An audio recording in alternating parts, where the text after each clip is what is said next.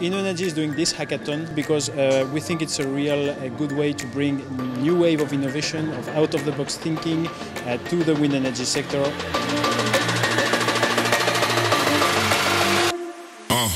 I'm a theoretical physicist. Data scientist. Designer. Control engineer.